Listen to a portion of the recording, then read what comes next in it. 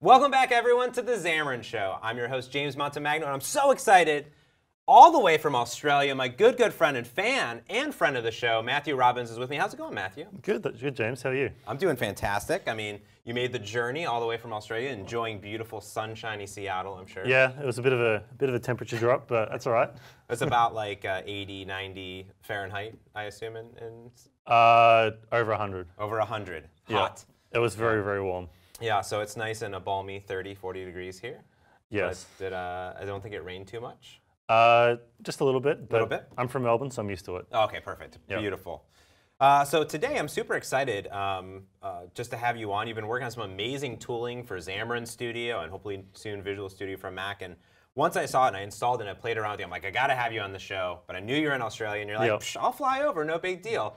So you made it. I'm happy. Yeah. Um, well, any excuse to travel, really. that's true. And Australians, Yeah. what we know, Australians, they love to travel. Everywhere I go, I love to travel too. I'm always running into Australians all the time. Yep. It's a thing. I don't know what it is. I just love, love life. Yeah. Yeah.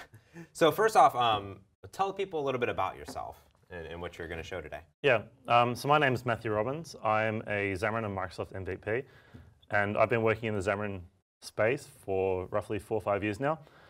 Uh, over the course of this time, I've built many, many apps, so from Xamarin Native to Xamarin Forms. And roughly two years ago, I decided to start building tooling for Xamarin. I wanted to fix some workflow problems that I had. Um, it originally just started out as an idea that I would be able to right-click on a layout in Android, and I could pull in all the controls and generate all the C sharp. So that was the original idea. Yeah. Still haven't done it, but I've done an awful lot since then. Um, mostly centered around Xamarin Forms and just trying to improve the way we build apps. Yeah. I really love the idea. Uh, Frank, Frank on our podcast, Merge Conflict, we did an entire episode on IDE extensions and kind of how, how cool is it that you can take these crazy IDEs that like developers spent tons and tons of times on, but then we can really craft tools that we care about for our workflow. Yep. And then you start to realize that, oh, it's not just us, right? Everyone else also wants these things, these little missing pieces that are kind of like these corner cases at first, Yep. and then sort of turn into, but what if it did this? What if it did this? What if, like that's how I started with templates originally. I was like, man, I like our templates, but I don't love our templates. So what if I made my own templates? And I think uh, it, it's so cool that that we have this ability to do it, and not a lot of developers know how to do it. But I work mostly with Visual Studio extensions. But Yep. You did Xamarin Studio extensions, Yes. correct? Yeah. And how was that journey? Uh, a very, very steep learning curve, to, Mm-hmm. to be perfectly honest. The, the actual extension model is not very well documented, so Mm-hmm. you end up reading and understanding the source code very well. I feel like I'm so much better as a developer just because I've had to like tear apart um, monodevelop to actually get anything to work. Yeah. Um, so it's difficult, but it's really, really rewarding. Yeah, I like that. So that's about the story that I've heard a few times. But nice, but the nice thing is that Xamarin Studio is open source, Yep. right? Via MonoDevelop, which which is from that this long lineage of open source. So did you just go to the the GitHub page or wherever it was hosted and you just dive through the source code, or did you find some other sample projects out Um, there? So my introduction to this was like I, I started off in the monodevelop source code, just Yeah. like poking around. Um, there's a, a sample where you just um, you- where you generate a, a date time into your source code. So I started off with that and just got an idea of how it all worked. Um, then I reached out to Mikayla Hutchinson, who is one of the product managers at Xamarin, and I said, I want to do this stuff Yeah. and she's she kind of pointed me down the right track, uh, and it just escalated from there. And so it, yeah, and it turned into what you're going to be showing today, which it did. is correct. It's called MFractor. That's correct. Yes, which comes from. So it's a mashup of the word mono and refactor. Okay. So back in the day, about two years ago, I was struggling for a name, and I'm just like, oh, what about if I just mangle these two words and see what happens? Beautiful. Yep. So, so what is MFractor? Essentially, is uh, in a nutshell, what's your 30 second elevator pitch of it? In a nutshell, it's a collection of incredible tools for Xamarin Studio. So it currently focuses on forms development, so it adds XAML analysis, navigation shortcuts, refactoring, code generation, a whole slew of very, very useful tools. Okay. Yeah, and then do you do anything that's not Xamarin Forms, like some iOS or Android stuff? In I do do some Android stuff. So my original focus was on Android, but I pivoted into Forms because that's what I've been working in for the last year and a half. Yeah. So it adds uh, resource analysis, uh, resource IntelliSense, um, some navigation improvements. There's, a- there's a few bits and pieces there. Yeah, because I feel like we've d- they did the, the IDEs themselves have done a really good job with Roslyn support and doing the anal- analyzing of it. But when it came to XAML analysis, Yeah. E- even in general, even when I did Windows development, the XAML analysis was good, but not always exactly what I wanted. You know, to say no one was doing like a code gen really from I know that's that's out there, and those are kind of those cool extension points. Um, so I'm super excited to see what you have. Do you just want to jump into it? Um, sure. Yeah. Yeah. Where, where do I even get it from? Oh, this is the, the logo. Yes, this is beautiful. the, the logo. Um, to get it, you go to www.mfractor, um, M-F-R-A-C-T-O-R. And we'll put it in the show com. notes below. Yep. Um, you can either press the big blue download now button, nice and easy. yep, and that'll take you to it, and then just click on the download mfractor link, Okay. and that'll that'll download it for you. So this is an MPACK file, and that's the That's the ex- extension format for a, um, a monodevelop okay. add-in, or Visual, Visual Studio for Mac add-in now, actually. Okay, gotcha. Yeah. So so if you're probably used to Visual Studio, they have the VisX, VSIX, yeah. very similar. Essentially, this is the, the pack. Yeah, it's Maybe- basically yeah. like a bundle with some like manifest information. Okay. So once you have it, then what do you do? Um, then we can jump on over to Mfractor's documentation website. Um, so you can either click on the docs.mfractor.com link, uh, or we can enter it manually. Okay. Uh, but there's instructions here for setting up and installing it. So we can go in and learn how to get it, learn how to install it. So currently you have to install manually, Okay. um, which would involve, uh, if we go into Xamarin Studio, we go to the, the top menu, so the Xamarin Studio menu, um, then click Add-ins, and then there's Install from File, yeah. and then you would just browse to wherever the MPACK is, Got and it. it would just install. Got it. And if people may have never even seen this dialogue before, this is kind of so that there's this extension manager um, that's on there, and then there's a lot of stuff in there already. So I know There that, is, like yeah. Jon Dick has uh, my favorite. He has like an obliterate um, folder extension.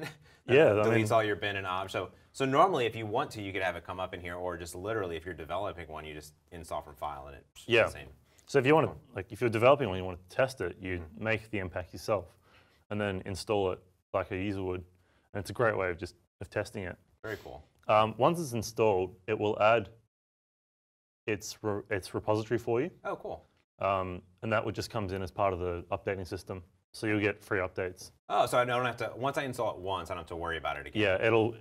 It, uh, Xamarin Studio daily polls Okay. the remote endpoints, Nice. um, so it just checks for an update each day. Okay. Very cool. Yeah, and then it, it'll just work. Then it's installed. Do I got to close Xamarin Studio? Got to do anything like that, or You shouldn't need to. Like Okay. I, I, I have seen it work without restarting Xamarin Studio, but I would recommend restarting Xamarin Studio. yeah, Um, just because it's best practice, right? Yeah. So uh, even in Visual Studio and Xamarin Studio, I always shut it down, reopen, because you know there's a lot of things happening over there. But you already have it installed, I do. and, and what are you going to show us here today? What is this? I see Uh, some some PCI Mo- stuff. Yeah, and some- mostly we'll go through the, the four key areas that Okay. it focuses on. So that's uh, navigation, uh, code analysis, code generation, and refactoring. Okay, let's Um, do it. Yeah, so we're, we're just going to work with the XAML document and just going to walk you through um, the, the workflow improvements. Okay.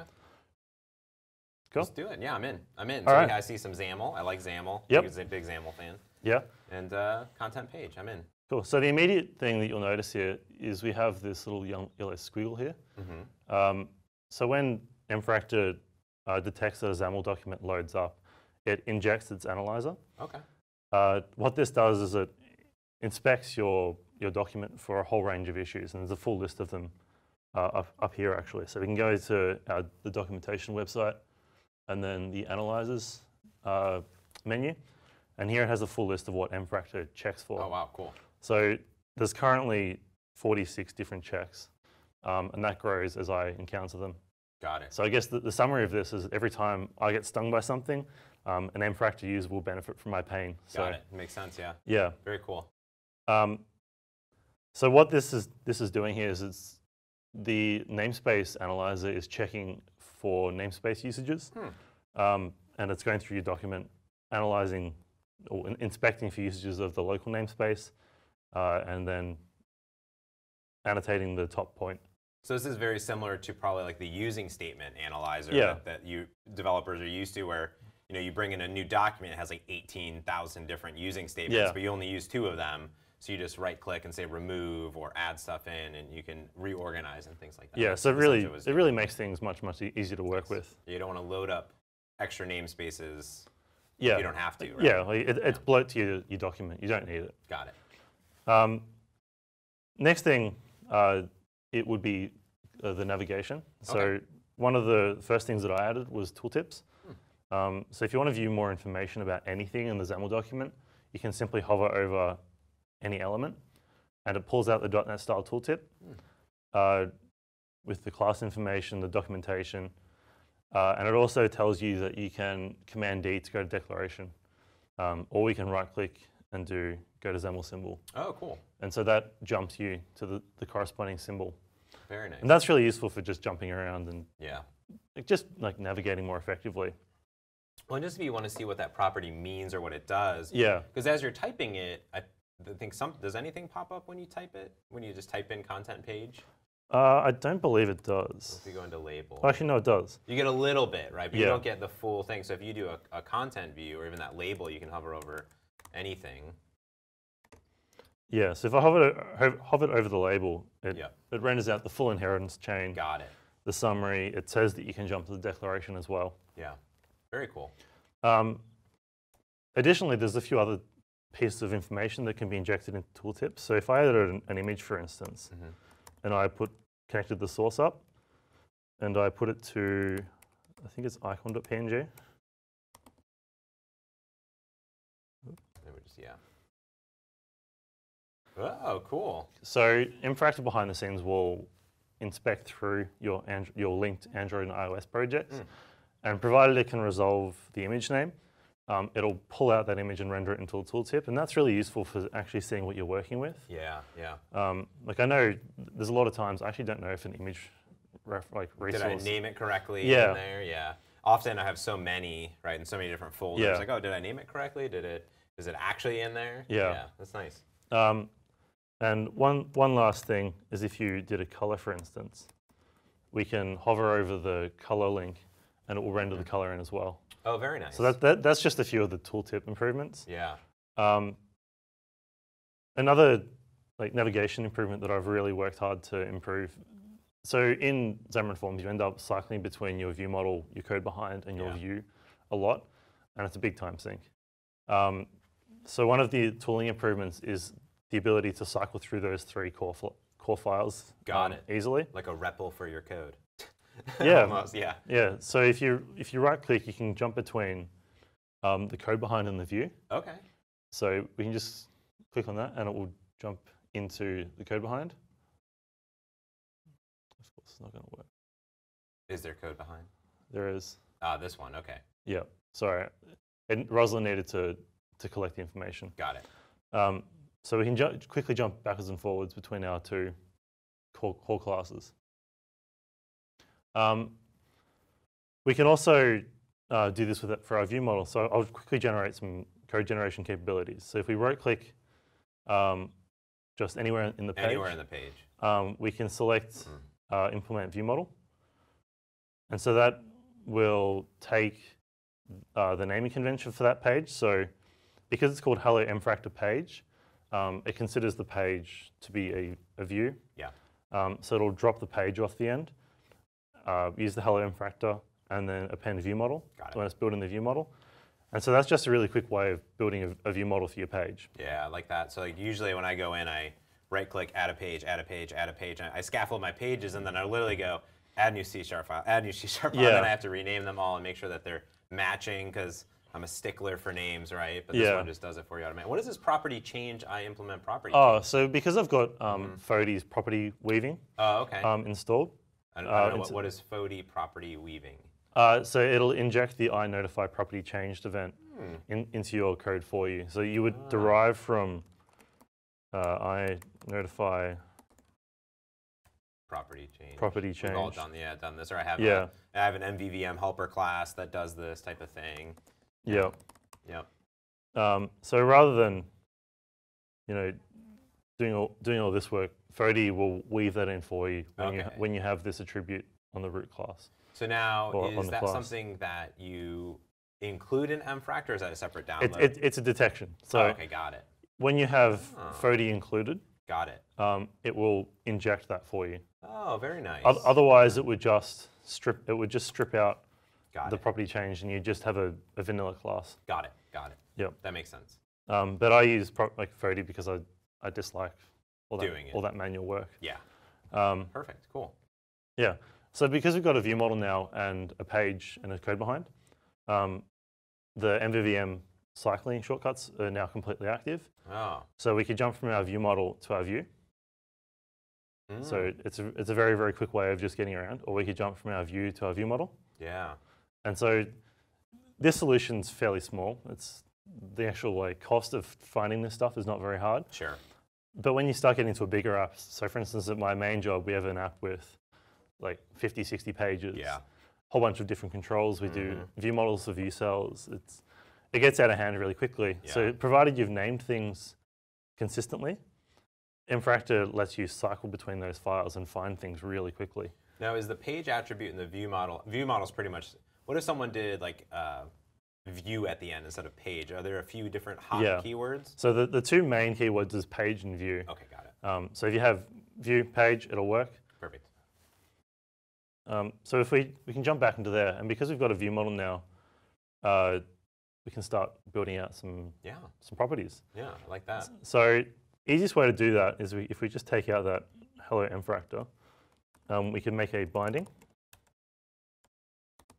And if you don't know about data binding, I'll put some some links in the show notes to my episode Yeah. that I talked all about what this binding message means essentially. Yeah. Yeah. So like what we're saying here is we're connecting the text property on the label to a message property on our on our view model. yeah.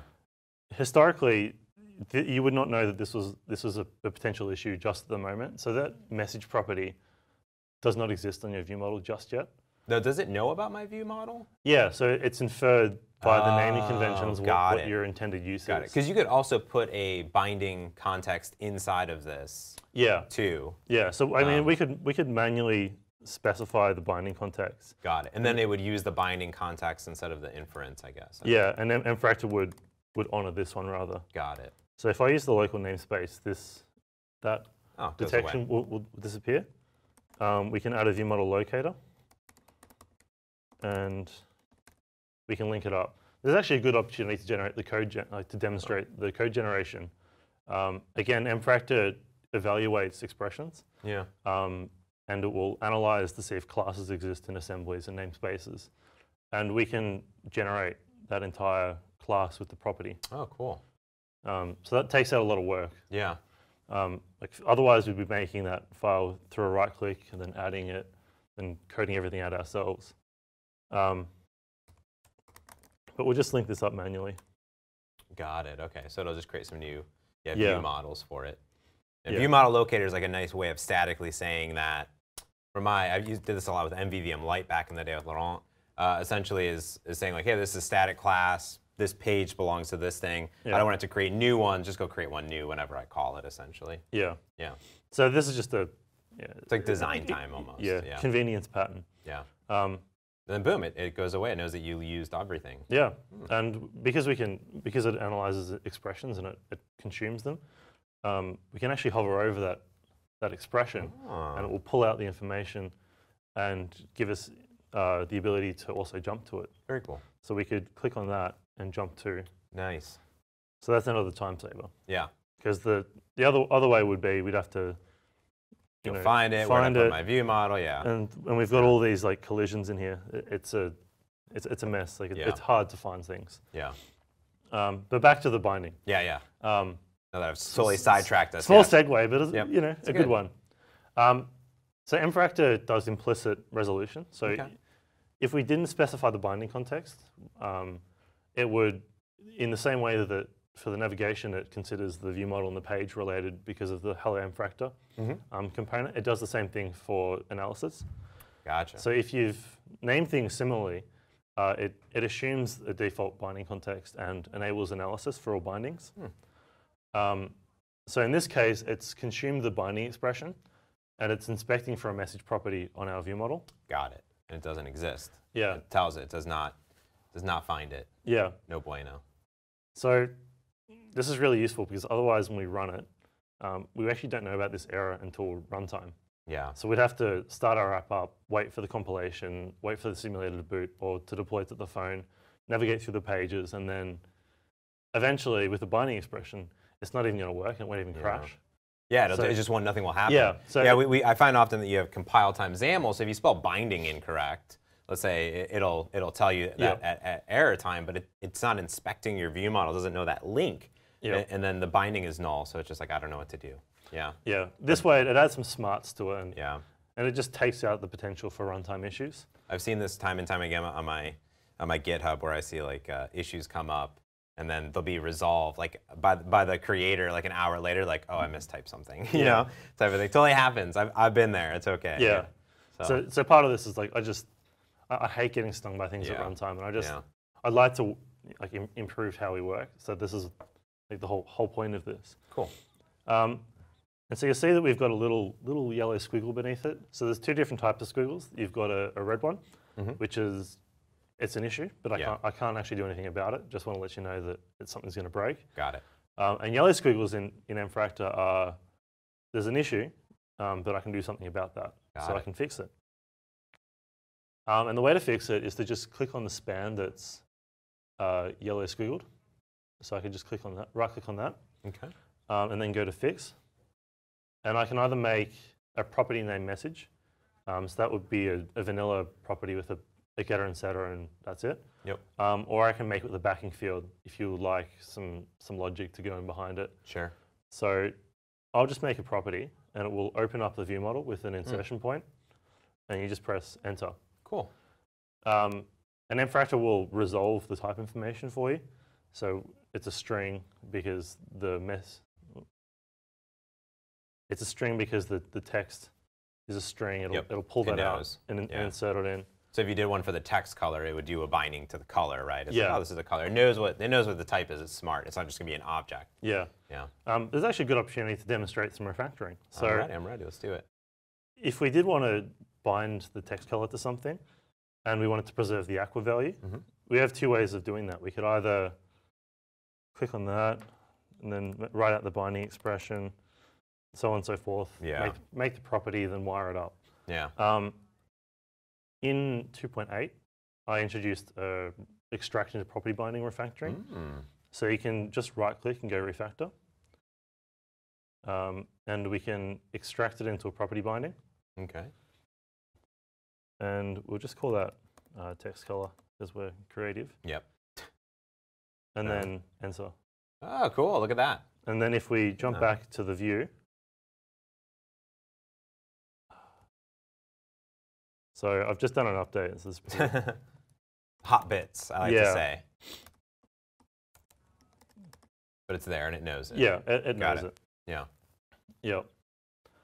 Um, And that's nice because often I'll put in some weird, like I won't just use aqua, I'll use like pound zero zero five eight whatever, some color inside of there. Where I really should be putting it into my app.xaml. But sometimes I just want to you know keep that value, and then this will just at least create the backing field for me, uh, which is really nice. Yeah. Does that work with any property, like the image source, or like any, Yeah. basically anything that can be bindable? You can Yeah. bind it. any, anything that, that has a um, a bindable property component. So there's the there's like the, there's the source property, but there's also a source property named property, Property. Got which it. is the, the bindable property for the source. Mm. So anything that has a, a bindable property um, correlation, it will use that. Very cool. Very Well, cool. Um, all right, so next up, uh, one of the newer features that I did to clean up your XAML um, is namespace refactoring. Okay. Yeah. Um, I'll just restart that with the source editor. Um, so what we can do now is if we want to rename namespaces throughout our document, Hmm. um, we can just right click on the top declaration and uh, do, for instance, my app, Boom. and it will rename the XML declaration and also the my app declaration. Yeah, it's nice because often I start creating controls and I have like controls, controls, my controls, this sort of thing controls, this this other control. You know, Yeah, you start bringing a lot of third-party libraries that are in there. yeah, and and it's so easy to accidentally import things a few times. So Yeah. For instance, if we had like the, the CLR namespace hello mfractor, and we had it as both local and my app. Mm. Um, it's a duplicate declaration. You don't actually need it. Yeah. Um, and say we we used it uh, in here as well. So I just set the bind, set the binding context in here, Sure. and we set that to local. We have two de- two duplicate declarations that both point to the same thing. Um, there's a new fix in mFractor 2.9 um, that lets you compress them all to the same Oh, namespace. nice. Nice. So you can just right click and it will rename them all to whatever the, the namespaces that you want. Yeah. Um, that's just a nice little nice little touch. Yeah, just like just keeping things clean, Yeah. basically. Yeah, and also like it's so easy to overlook those things in your code. Yeah. Because as you're jamming on code and you're just like nonstop code, and you're like, oh, I'm doing this revision, that revision, I'm pulling in this control and that control, and then you copy code from one file to another file. And you're like, oh, you know, you know, now I have all this stuff, but you don't realize it, and then it's just kind of bloat. You know? And, and then eventually, like it gets out of hand, it, it starts looking messy, and it's a pain Yeah. to, to maintain. yeah. Um, on the the, ma- the maintenance note, um, some of the newer features that I've been adding are on the keeping your, your XAML tidy. So, say for instance, you wanted to uh, keep things aligned uh, on separate lines or the same line. Mm-hmm. Um, we can now right click on any node Mm. and you can, for instance, collapse them onto the same line. Cool. Um, or you could expand them all out into separate lines. Ah. You And- could do that on like the label, for instance. Yeah, so I'm a I- big fan of of uh, properties on new lines. Yeah, so if you just wanted to expand them Oh, out yeah. into separate lines, does a, a very, very simple collapse. Yeah, And if, I'll just add some more properties. So, like font size.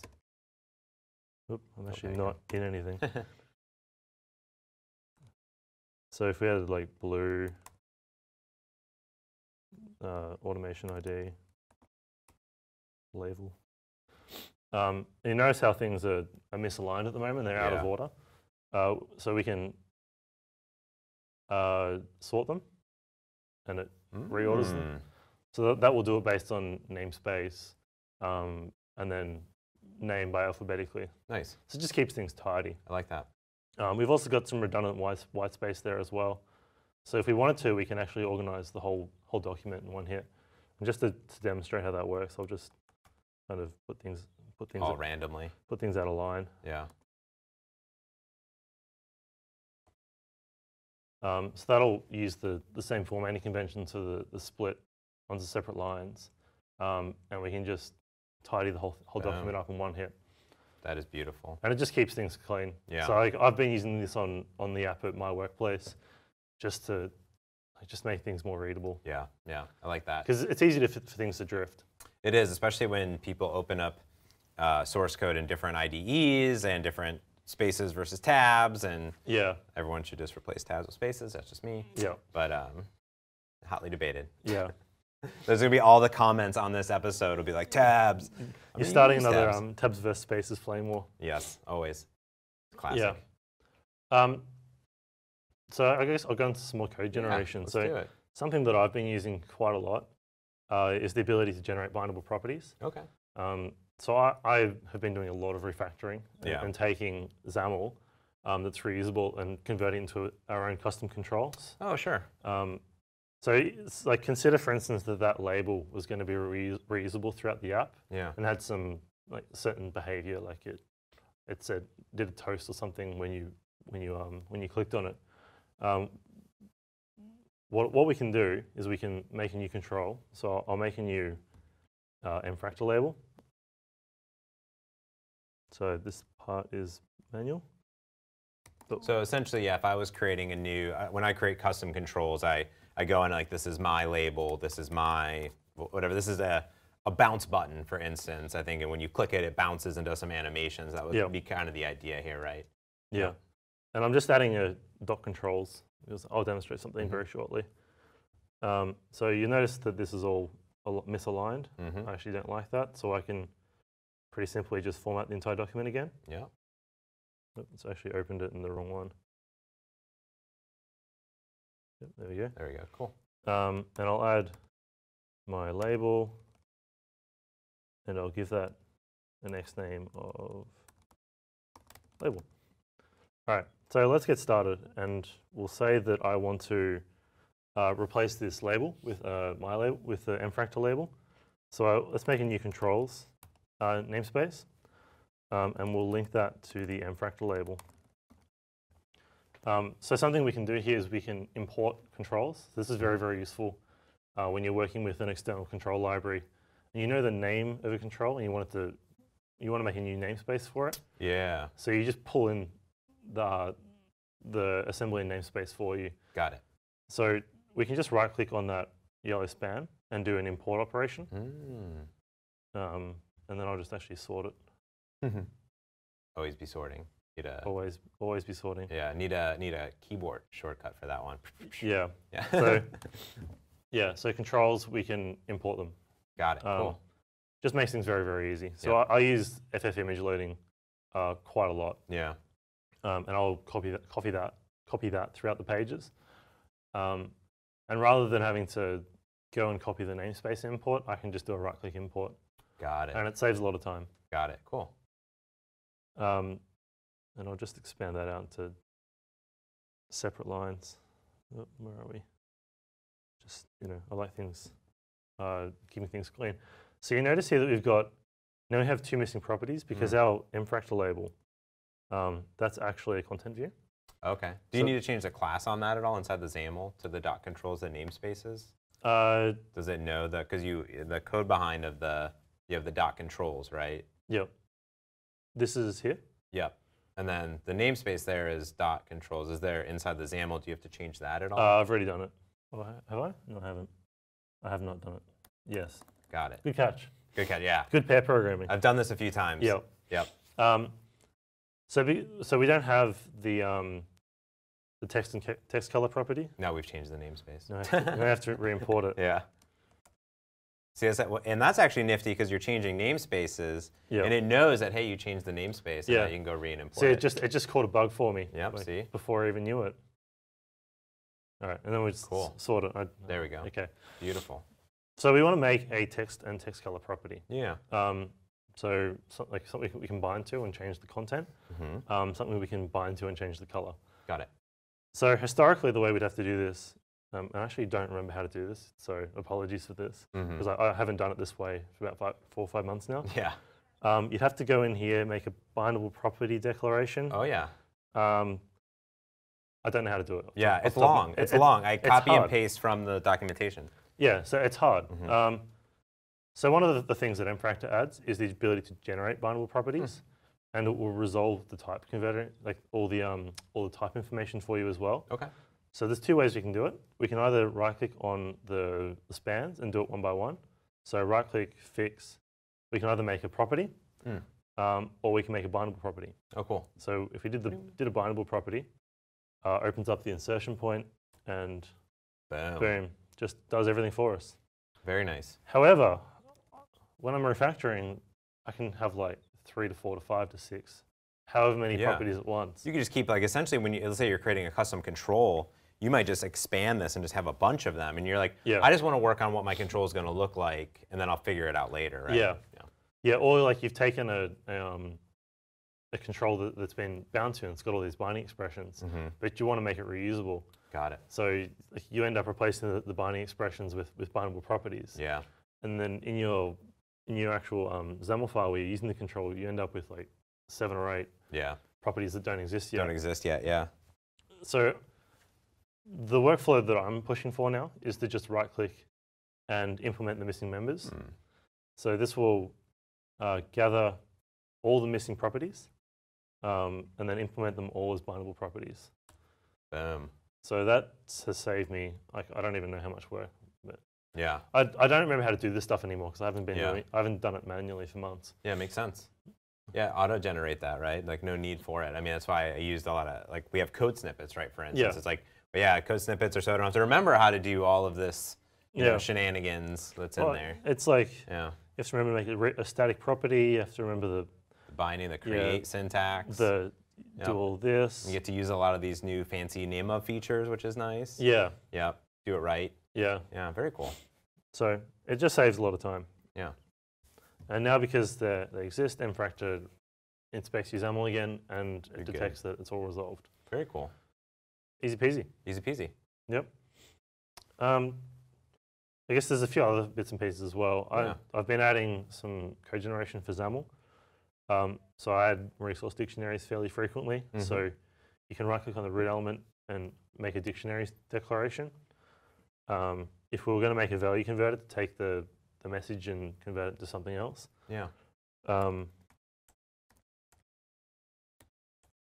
Yeah, often inside your resource dictionary, you have a app level and then a page level. So you you you start to bring in all of these converters over and over and over again, and, and Yeah. often they have to pair with the namespace because maybe you're using a helper library and, and other they're elsewhere.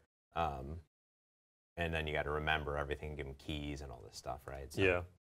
Um, so what we can do here is we can generate a key Hmm.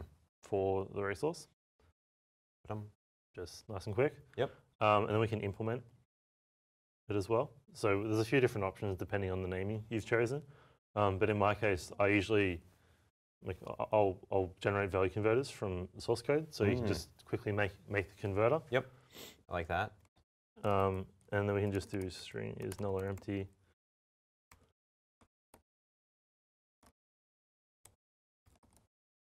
Um, that'll take the, the string to a boolean. Yep.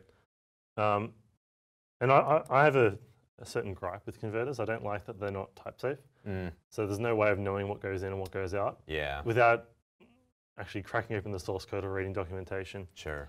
So I've been pushing to add uh, a value conversion attribute. So this is based on WPF's uh, convention. So that they already have one of these. Oh, okay. Um, so I've, I've already predefined this in in my um, in my source code. So the, basic premise is you define the type that comes in and the type that comes out, Mhm. um, and then you add that to your converter. So pretty easy. Just value conversion conversion type of uh, string, and its output type is a boolean.